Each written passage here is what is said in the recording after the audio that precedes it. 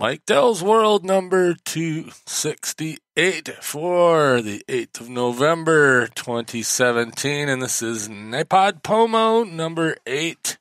I'm staying on track this year. I love it.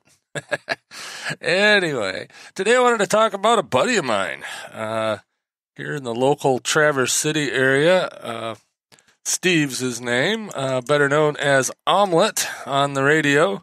And for years and years and years, I think exactly 10, he was the uh, morning host on WKLT in uh, Traverse City.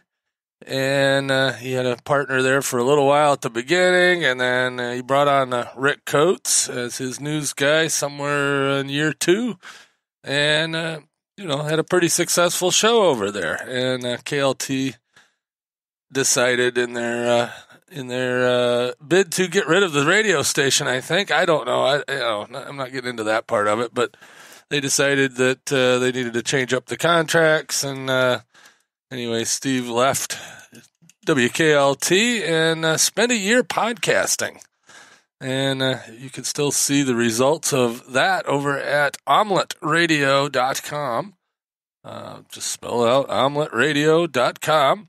And uh, I think all the podcasts are still over there. I helped Steve uh, get it uh, set up with his home studio and uh, and uh, helped him get the podcast website up and running and the RSS feed and all that happy stuff. And and that's still over there for pres- posterity.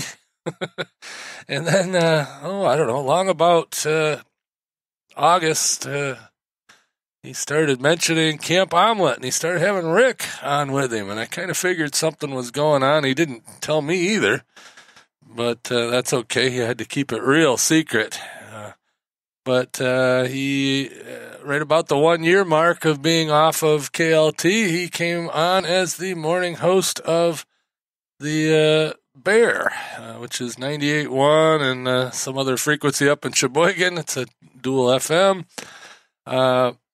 and uh, you know collectively known as the Bear, and uh, they built him a studio down here in Traverse City at their office here, and and uh, it's all uh, it's all great. And uh, now you can listen to Omelette and Coates in the morning, five thirty in the morning till uh, ten in the morning. And then after that, oh, NASCAR Steve, who also used to be at KLT, takes over from the Cheboygan studio. So it's it's good to to have live local radio again in the morning here. Uh, you know, Steve and uh, or Omelette and Coates, as the show is called, uh, took over for Bob and Tom here in the local market. Of course, uh, those of you that uh, follow anything to do with radio morning shows know that Bob and Tom started in Harbor Springs, Petoskey area on a on another radio station. I think WJML, if I remember correctly, sometime in the early 80s, I believe it was. And uh, then they uh, went to WFBQ in uh, Indianapolis and then got syndicated. And here a couple of years ago, uh, Bob Kevoian, uh, the Bob of Bob and Tom, retired. And uh, good for him. He got out while he still had his health, and him and his wife now are are podcasting. Actually, they're I forget what the name of their show is, but they're uh, not full time, but uh, they're uh, very avid RVers, uh, especially the Airstreams. So uh, yeah, they travel around in their Airstream and uh, and talk about it. Bob and Becky. I, just like I said, can't remember the name of the podcast right off top of the head, top of my head. But Bob and Tom show is still going apparently with just Tom and uh, of course Chick McGee and uh, Kristi Lee, uh, or Teresa as she's as her real name is. But anyway, uh, so anyway, uh, uh, Steve and and Rick took over on 98.1 The Bear. Of course, I got to go over. Be one of their first guests, not their first guest, but in the first couple of weeks, there talking about International Podcast Day on September 30th so that was uh, that was cool. Got to go uh, do that, and uh, I'm sure I'll be over there periodically, and uh, maybe even fill in for Rick some on the news. That might be fun.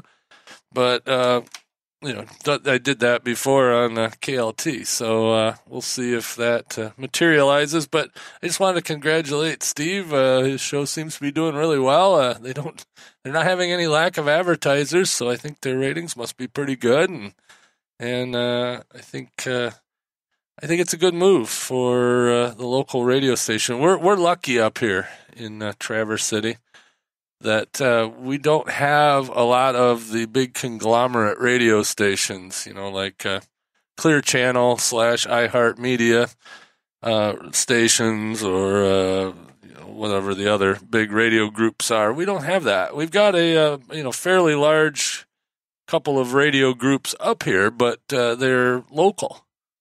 You know, they're like Midwest Broadcasting you know, has the uh, country station, a talk station, sports station, uh, and a couple other station oldies.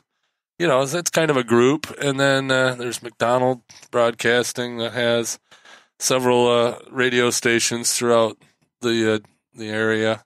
You know, this area is a little different than a lot because it's a big uh, metro, as they call it, or a big broadcasting area, you know, that, uh, like I said, most of the TV stations here are, are dual stations or even more. Uh, like our uh, NBC affiliate is seven and four because they had to have two transmitters even back in the analog day to cover the uh, market. You know, they had one up in Cheboygan, Michigan, one in uh, Traverse City, Michigan, or well, actually Harrietta, south of Traverse City and uh, our uh, CBS affiliate has a, a, transmitter in Cadillac, Michigan, and another one near Sault Ste. Marie, Michigan, up in the UP. And 29 and 8 uh, had one uh, in Kalkaska and one in uh, the Soo. And, uh, you know, so there's 29 and 8, 7 and 4, 9 and 10, and Fox 33, which actually had four or five transmitters, all on UHF, and they still do and a lot of them have grouped up. But uh, same thing with the radio stations. WKLT had uh, uh, one transmitter on Boyne Mountain and another one on Radio Hill here in Traverse City. And uh, the Bear has uh, one, you know, west of Traverse City and one uh, up in Cheboygan. And you know, just like I said, there's a lot of a lot of dual, you know, simulcasted FM stations to cover the market. So and, and like I said, there's no big uh, national radio group up here. Uh, I can't think of any stations in the area that are owned by anybody other than a local group, or at least a uh, group that has local stations. Now there are some. I think there's a, a one group of stations that uh, also has stations in uh, Missouri and Texas. I think, but uh, for the most part, it's all locally owned uh, the uh, TV stations here, uh, one of them's owned by Sinclair Broadcasting, so that's one of the big broadcasters. But you know, they leave the uh, local decisions up to the local managers, and you know, it's a very local feeling TV station, so it's not a big deal. That that's the one I happen to work for, uh, seven and four, WPBN WTOM. WTOM stands for Top of Michigan, and PBN is the Paul Bunyan Network. Anyway, enough about broadcast geekery. Just wanted to uh, tell you about Omelet and Coates. Uh, if you want an interesting live local radio show from Northwest Michigan, uh, go ahead and tune into the Bear 98.1 and uh, I forget what the other frequency is, but uh, you can find them online in uh, TuneIn Radio and also from their website, uh, classicrockthebear.com. So, anyway, that's my update for November 8th for NaPodPoMo. This is Mike, and uh, you can catch me tomorrow.